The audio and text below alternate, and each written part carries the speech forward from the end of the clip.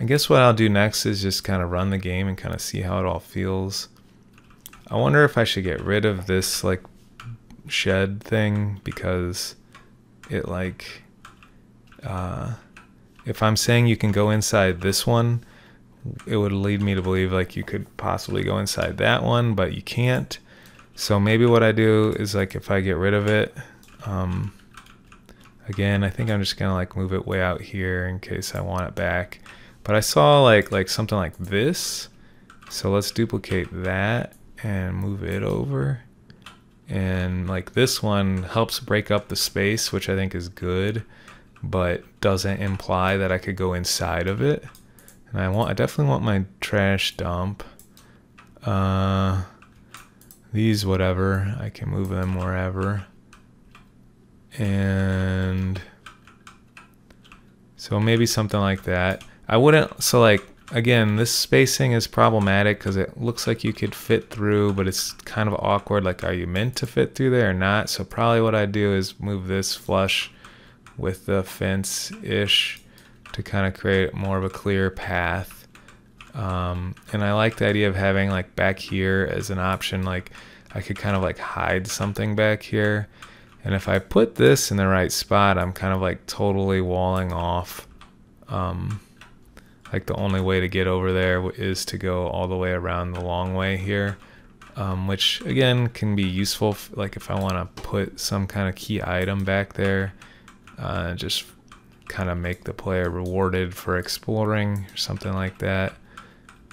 Um, and I remember also when I was looking through my props I really liked actually um, let's save this. Let's go back to that prop scene uh, where was it? It's in the asset pack,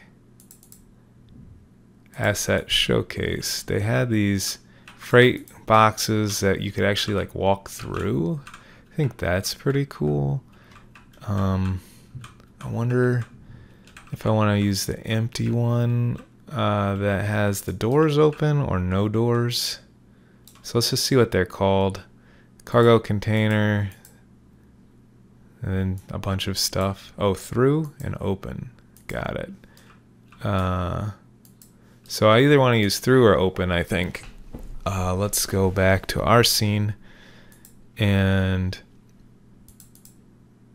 see how these things could fit. So I'm just going to search in my project win window, cargo, open, and there's like two choices, a little preview. Um, that one or that one. Honestly, I'm not quite sure what the difference is. So let's just throw one of them in here. Um,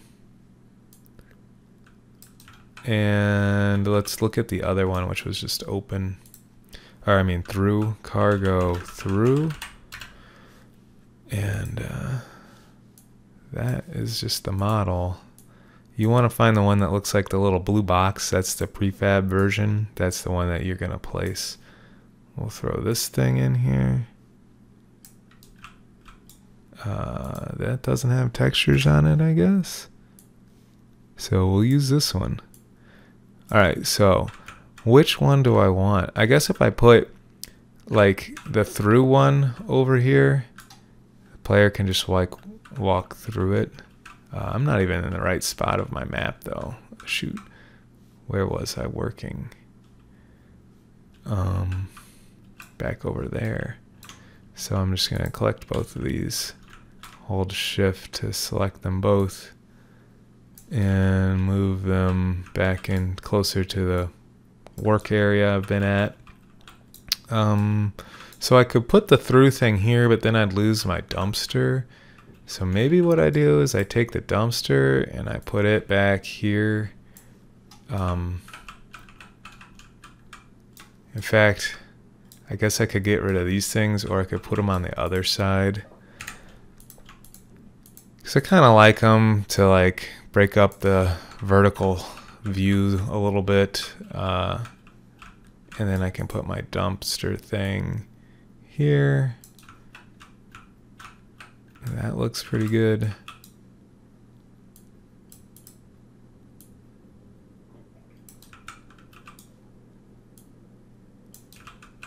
And maybe even I put it all the way against the back wall. I'm not sure, or closer to the back wall at least.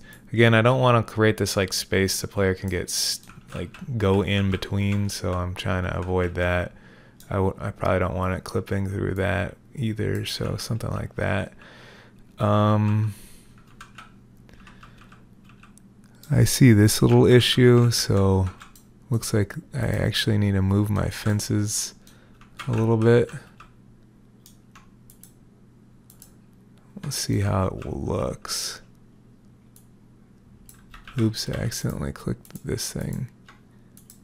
I just want the fences. Kind of had to carefully click on its actual model. So maybe a top-down view would help here. Man, I keep thinking it's going to help, but then I can't actually see what I'm trying to see. I'm trying to tell when that gap is closed. Uh, so it looks like it needs to move a little more. Or wait a minute. Where is the... Am I inventing this gap? Oh no, yeah, there it is.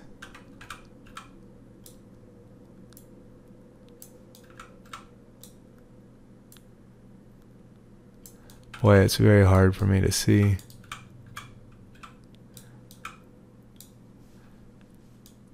So another trick, you know, I can, as I move this handle, the problem is the handle's so far away, I can't quite tell, I can't like get my camera positioned where I want it um, and click the handle. So you could try moving the handle and seeing which of these changes, but actually since I have two things selected, um, it's harder to. But I notice, let's see, I'm going to uncheck local, I guess, and I can see it's this blue arrow. So this is kind of confusing, but global is like north, south, east, west. So like blue is always going to be, you know, like we could call that north, I guess. Um, and then like the red arrow this way is always going to be like east. Local is like relative to the actual thing, so it's easier to look at with a character. Blue is always forward, so you can see her forward is, you know, easy to understand based on her face. But if I were to like rotate her, you see how the blue is changing.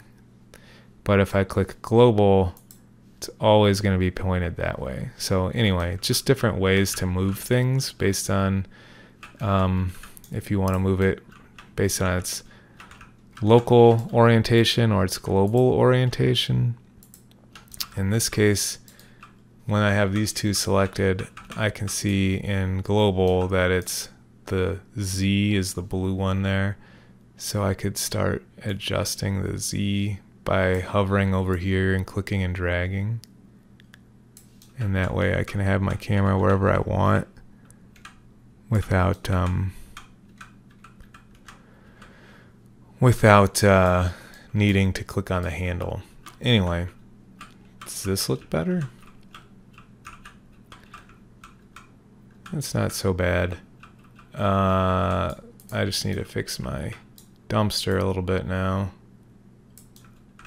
Alright, cool. And then I, I guess I accidentally pushed this stuff through the wall. I should just probably delete one of them.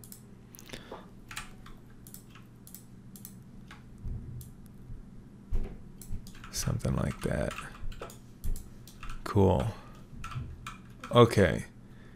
So I wanted to consider I guess I would need the through version of the cargo container so that I could put it here and it won't like prevent the player from exploring all of this. As much as I like this, I'm wondering if it's a good idea because it's really going to eat up a lot of space. Only reason I like it is because it's just kind of an interesting, fun thing to do to walk through. Basically, it's a little more variety, but um, it may not be worth it. Uh, Yeah, it kind of seems like everything's too lined up here, you know? Like this would be cool to like put like kind of diagonal in here, but then this would have to go, so I don't know. Maybe this guy is just not meant to be. I'm just gonna move it over here and we'll think about it. It's in the maybe pile. All right, let's run my game and kind of see how it feels. So like, I'm gonna set it up so that basically you can talk to this door. So that'll be one of my NPCs. Uh, right now I can walk through there, which I probably don't want to have be possible. So let's just fix that while, I, while I'm thinking about it. I guess I could fix it in a couple ways. I could put a prop there, or I could just move the whole building. I think I'll just move the whole building.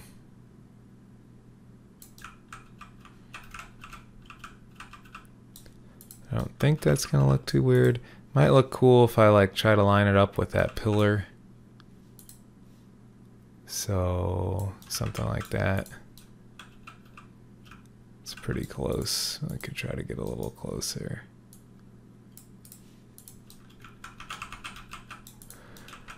All right, I like the way that looks. And so let's try it again.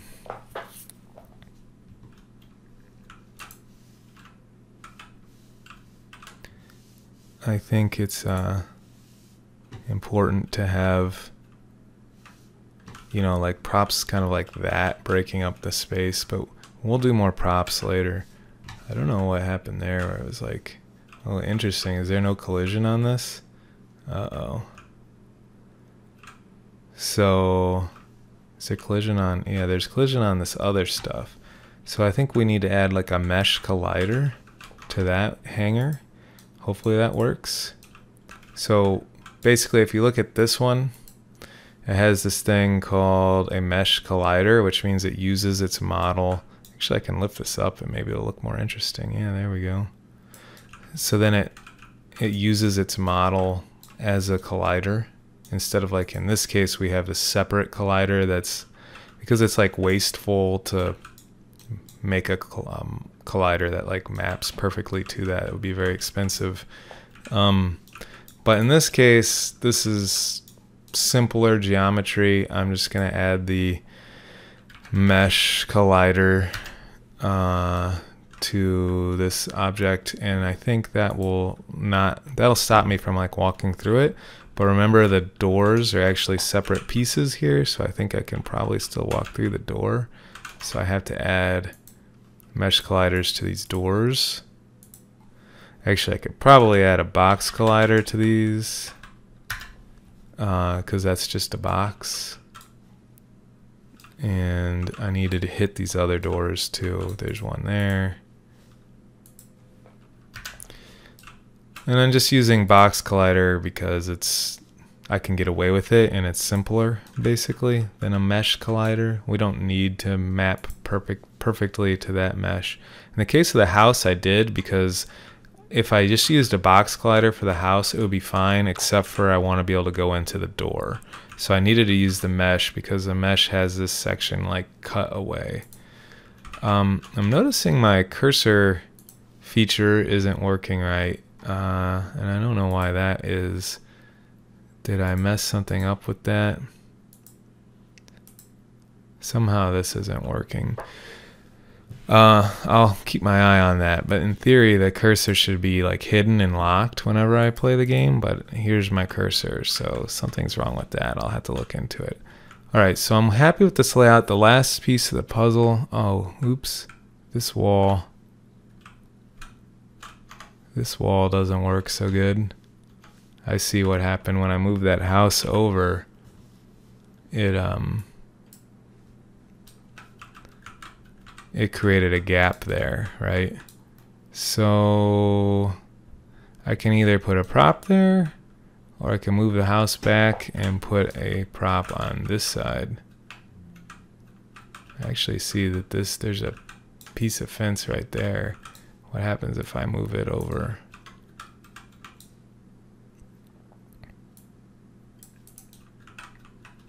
It's not quite lined up.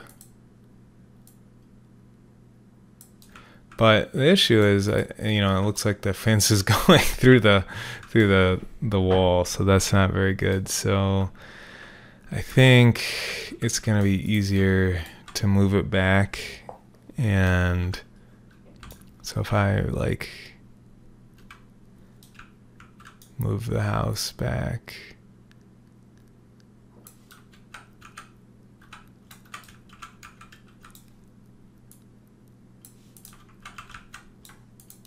Just want to make sure that this pillar isn't going through the